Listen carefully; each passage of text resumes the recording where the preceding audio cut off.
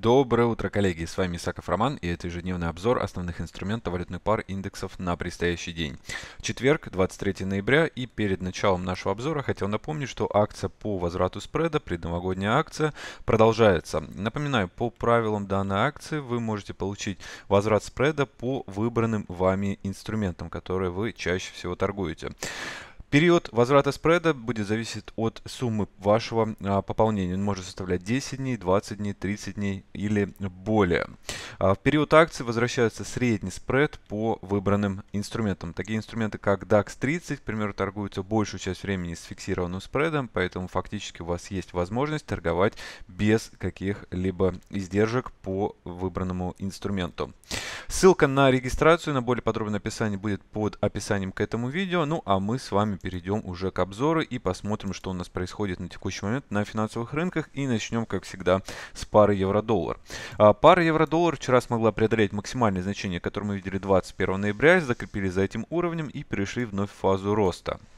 Ближайшие цели на сегодня это удержаться выше максимальных значений, которые мы видели вчера в области 1.1827 и далее пойти уже на 1.1860 и далее на 1.20. Возврат к продажам, а значит и продолжение нисходящего тренда будет в том случае, если мы увидим евро-доллар ниже отметки 1.1732, минимальное значение, которое было зафиксировано вчера. А пара британский фунт, американский доллар также пока продолжает свое восходящее движение. Ближайшие цели на сегодня это закрепиться выше а, максимальных значений, которые который мы видели вчера в области 1.3329, ну и далее уже пойти на 1.35. Возврат к продажам а, по данному инструменту будет в том случае, если мы увидим британский фунт ниже минимальных значений, которые мы видели 21-22 ноября в области 1.3212. А, пара американский доллар, японская иена продолжает свое снижение. Сегодня торгуемся вблизи минимальных значений, которые мы видели вчера, и ближайшая цель уйти ниже данных уровней, то есть закрепиться ниже отметки 111.13. Возврат к покупкам по данной паре будет актуален после преодоления максимальных значений, которые мы видели вчера в области 112.50. Пара американский доллар, канадский доллар возобновила свое нисходящее движение. Вчера мы закрепились ниже минимальных значений 21 ноября и тенденция нисходящая вновь становится актуальна. Ближайшие цели на сегодня это преодоление минимальных значений, которые мы видели вчера в области 1.2693 и далее на 1.2650. Возврат к покупкам произойдет в том случае, если мы видим пару американский доллар, канадский доллар выше отметки 1.2787. А, пара австралийский доллар, американский доллар а, продолжает свое восходящее движение. Цели на сегодня это уйти выше отметки 76.26, ну и далее уже пойти на 77.30. Возврат к продажам будет актуален после преодоления минимальных значений, которые мы видели вчера в области 75.53. А пара еврофунт пока продолжает свое нисходящее движение, но сегодня с утра мы видим торговлю вблизи максимальных значений вчерашней торговой сессии, отметка 88.91.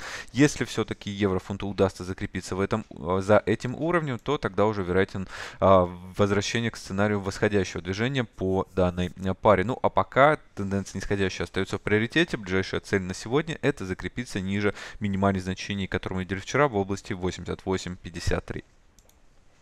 Золото вчера преодолело максимальные значения 21 ноября. Мы вновь перешли в фазу роста по данному активу. И ближайшие цели это закрепиться выше отметки 1294 доллара за тройскую унцию. Ну и далее пойти уже на 1304.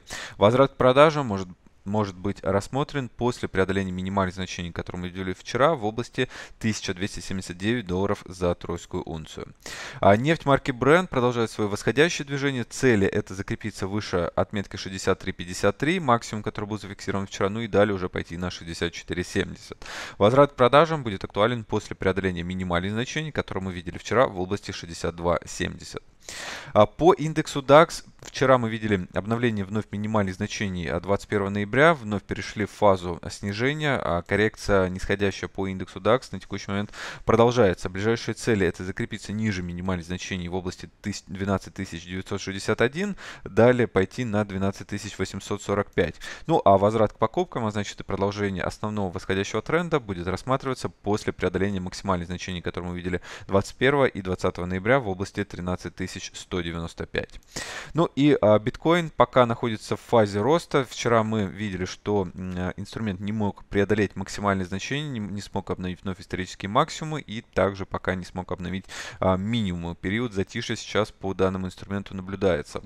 Возврат к продажам, а значит и начало коррекционного движения по данному инструменту мы будем рассматривать после преодоления уровня 8000 долларов за один биткоин и закрепление за данной областью. Итак, коллеги, всем спасибо за внимание. С вами был Саков Роман. Как всегда, напоминаю, если вам понравилось это видео, если оно для вас полезно, то не забывайте ставить лайк и ваши вопросы всегда оставляйте под комментарием к этому видео. Ну, а ссылка на э, акцию по возврату спреда будет добавлена также в комментариях. Всем спасибо за внимание, хорошего дня и до свидания.